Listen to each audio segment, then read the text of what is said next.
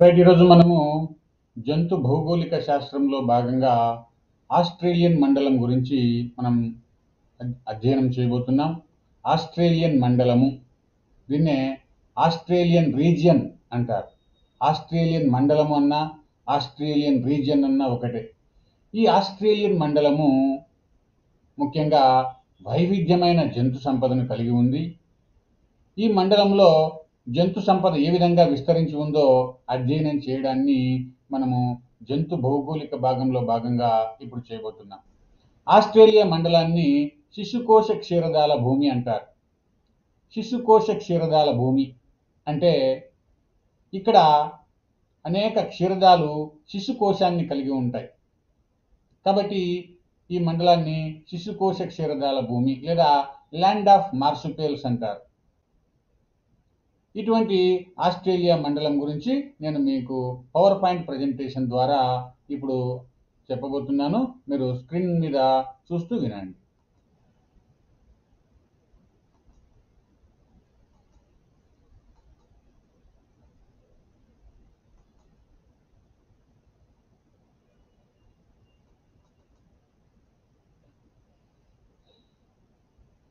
ఇది ఆస్ట్రేలియన్ మండలము మీరు స్క్రీన్ మీద చూస్తున్నారు ఆస్ట్రేలియన్ మండలము ఈ భాగం అంతా కూడా ఆస్ట్రేలియన్ మండలంలోకి వస్తుంది.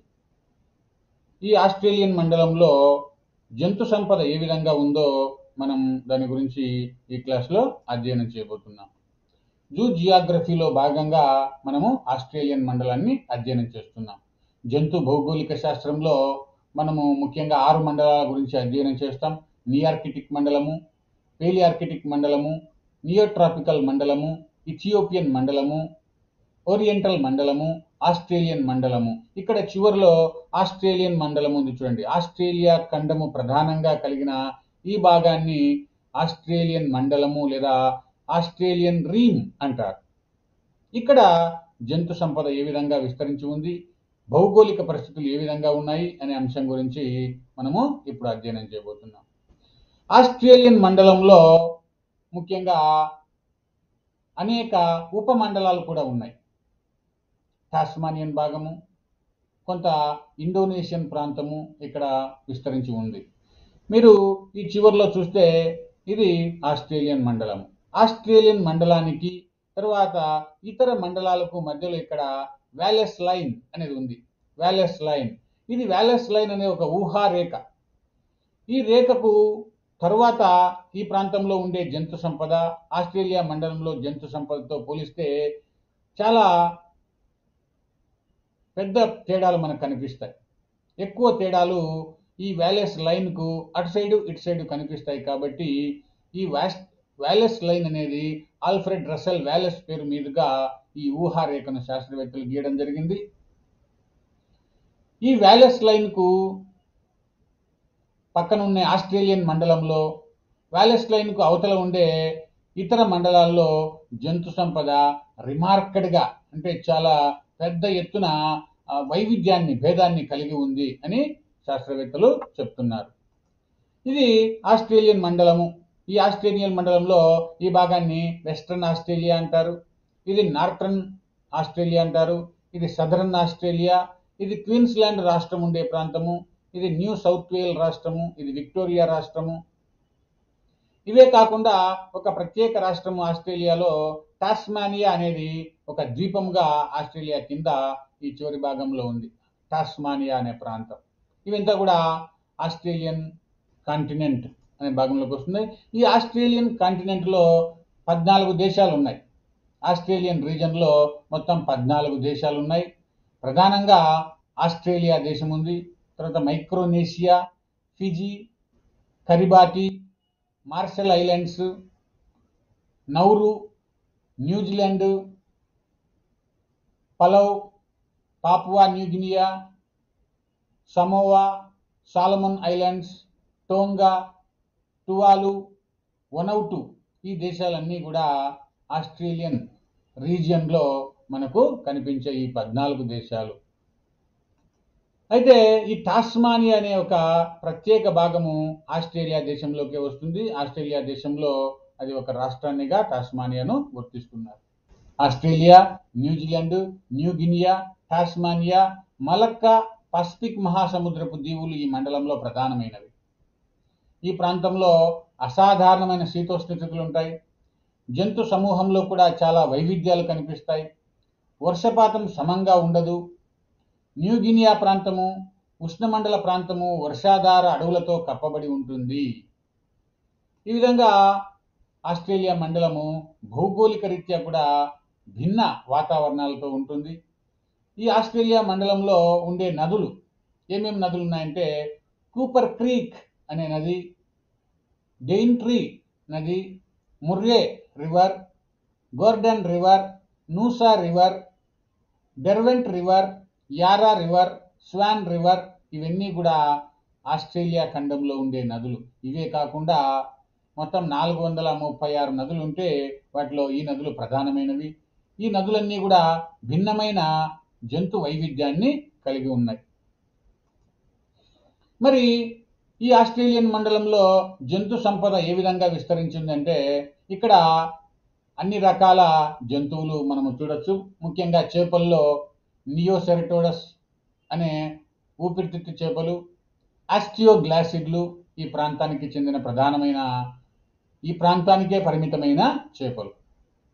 మరి ఇవే కాకుండా అనేక మృదులాస్థి చేపలు ముఖ్యంగా స్కోలియోడాన్ మ్యాకరెల్ సైనోగ్లాసెస్ కట్లా కట్లా అనబాస్ సాకోబ్రాంకస్ ఈ చేపలన్నీ కూడా ఈ ఆస్ట్రేలియన్ మండలంలో విస్తరించి ఉన్నాయి.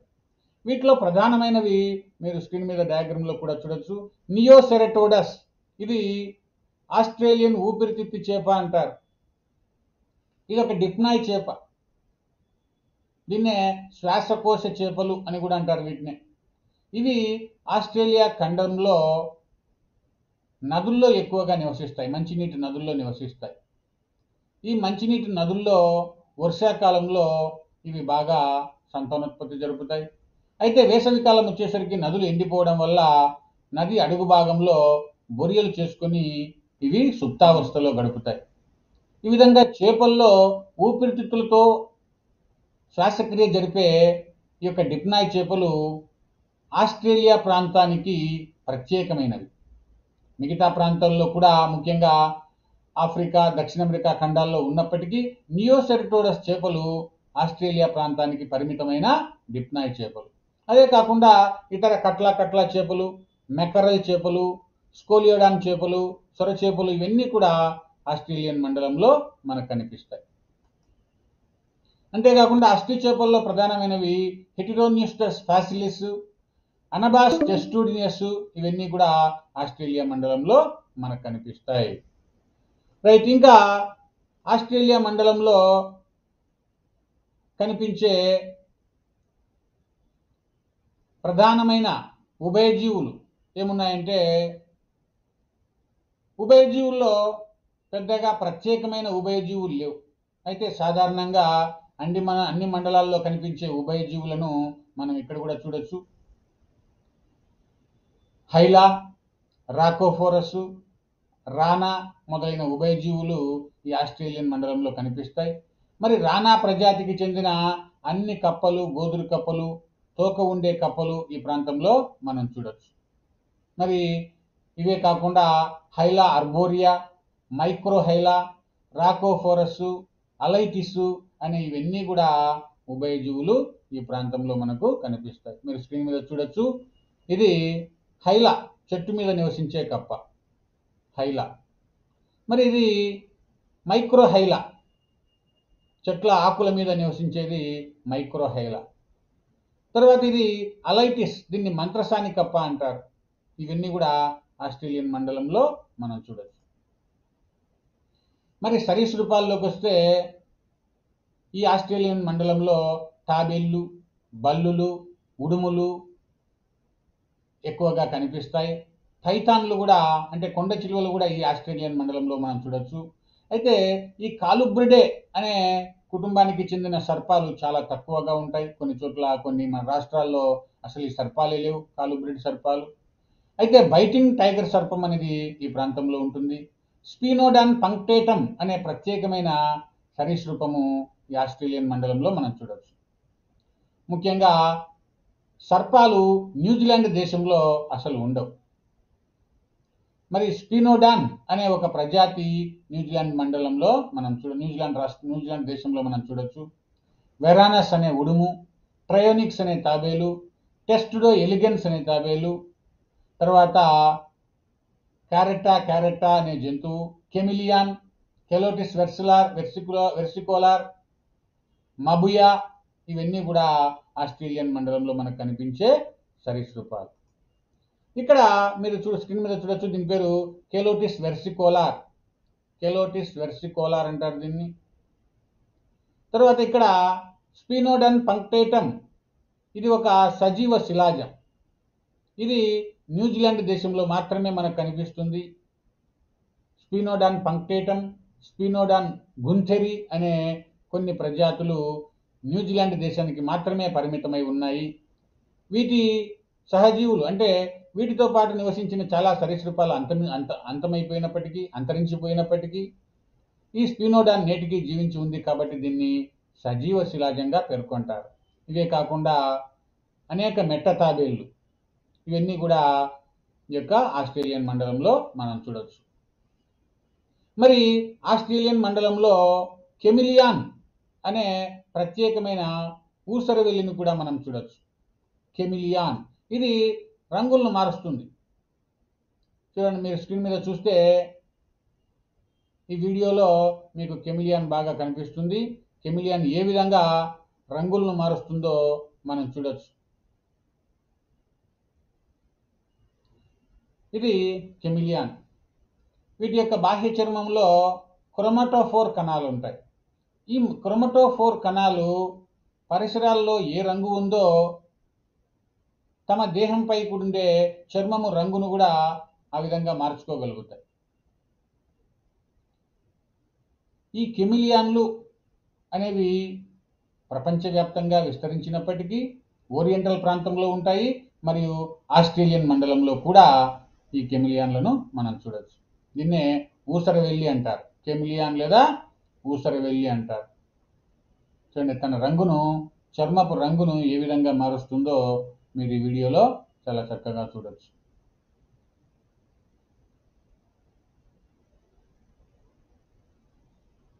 గ్రీన్ కలర్ నుంచి ఎరుపు రంగులోకి మారింది. మళ్ళీ ఎరుపు రంగు నుంచి యాష్ కలర్లోకి ఏ విధంగా మారుతుందో మీరు చూడండి.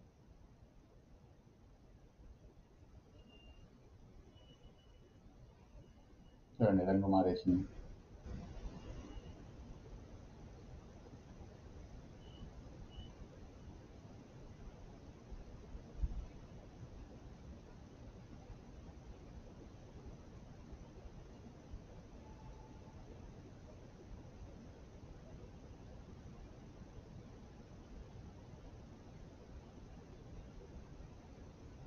ఆ విధంగా తన దేహపు రంగును పరిసరాల రంగుతో పాటు మార్చుకుంటుంది. ఆ విధంగా పరిసరంలో కలిసిపోవడం ద్వారా పరజీవుల నుంచి ఇది రక్షణ పొందుతుంది. రైట్ సరీసృపాలే కాకుండా చాలా పక్షులు ఈ ప్రాంతంలో మనం చూడొచ్చు.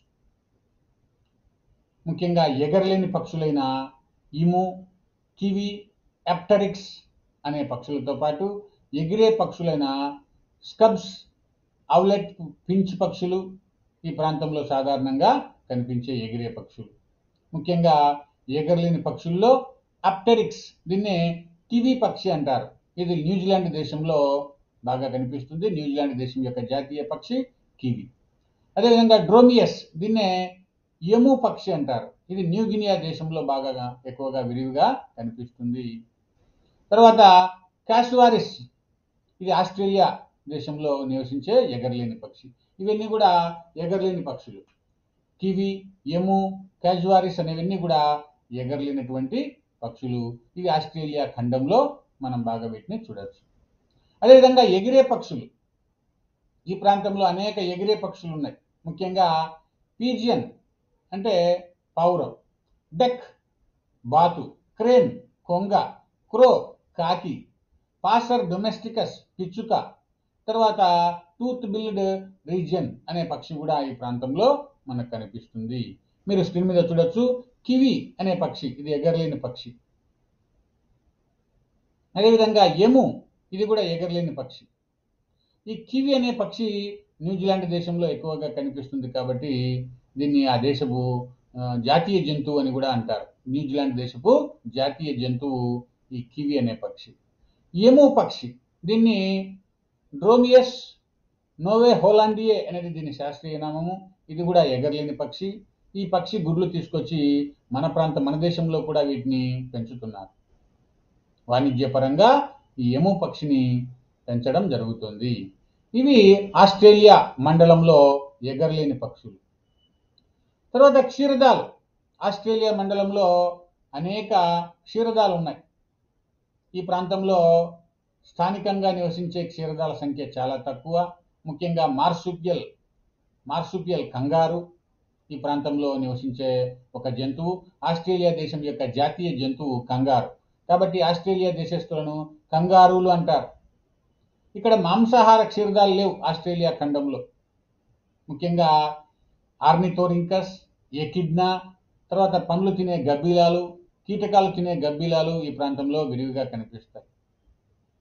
Ornithorhynchus Macropus Dasyurus Dendrolagus Pteropus Perameles echidna Rattus Rattus Equus Equus తర్వాత కొన్ని రకాలైన పందులు ముఖ్యంగా సస్ అంటారు. తర్వాత ఈక్వస్ అసినస్ అనే గాడిదలు ఈ ప్రాంతంలో ఆస్ట్రేలియా మండలంలో కనిపిస్తాయి.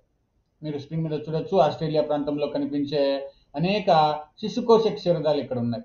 దీన్ని టాస్మానియన్ వుల్ఫ్ అంటారు దీన్ని టైగర్ క్యాట్ అంటారు ఇది బ్యాండెడ్ యాంట్ ఈటర్ ఇది మార్సుపియల్ ర్యాట్ ఇది కంగారు ఇది వాంబాట్ బ్యాండీకూట్ కోలా బేర్ తర్వాత మార్సుపియల్ మోల్ ఇది గ్లైడర్ ఇది ఒక రకమైన దీన్ని ఎగిరే నెక్క నక్క అంటారు.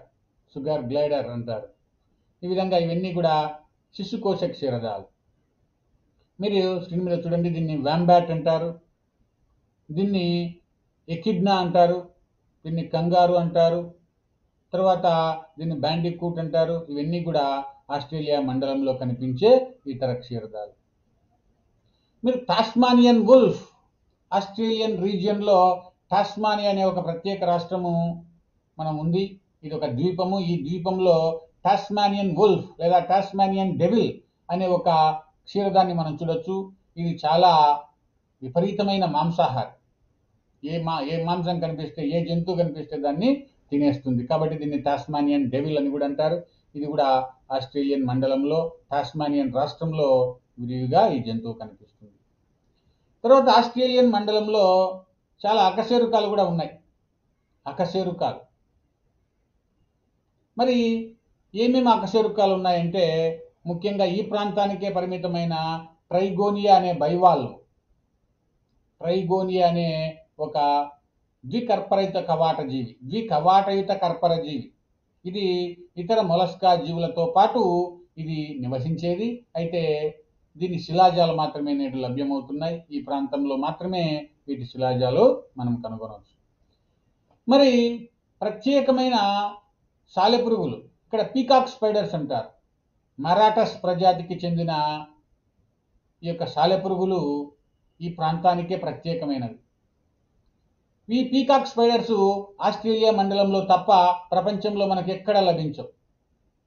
మరాఠస్ స్పేసియోసస్ అనే స్పైడర్ను మీరు స్క్రీన్ మీద చూడొచ్చు. ఇది వైవిధ్యమైన రంగులను కలిగి భాగస్వామిని ఆకర్షించడానికి ఇది డ్యాన్స్ చేస్తుంది. మరాఠస్ స్పేసియోసస్ అనే సాలెపురుగు ఈ విధంగా రంగులను కలిగి ఉండి డాన్స్ చేస్తుంది. ఇది కూడా ఒక రకమైన సాలెపురుగు. ఇది మరాఠస్ స్ప్లెండెన్స్ అనే సాలెపురుగు. స్పైడర్.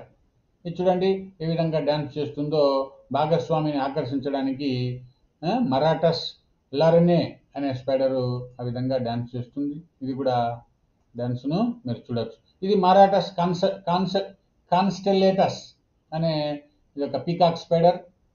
ఇది భారతదేశంలో ఉండే నెమళ్ళలాగా వైవిధ్యమైన రంగులను విభిన్నమైన రంగులను తమ యొక్క ఉదరం మీద పృష్ఠభాగం మీద కలిగి ఉండి ఇవి డాన్స్ చేస్తూ తమ యొక్క శ్రీజీవిని ఆడ సాలెపురుగును ఆకర్షించే మగ సాలెపురుగులు ఈ విధంగా వైవిధ్యమైన రంగులను కలిగి ఉంటాయి. కనుక వీటిని పీకాక్ స్పైడర్స్ అంటారు.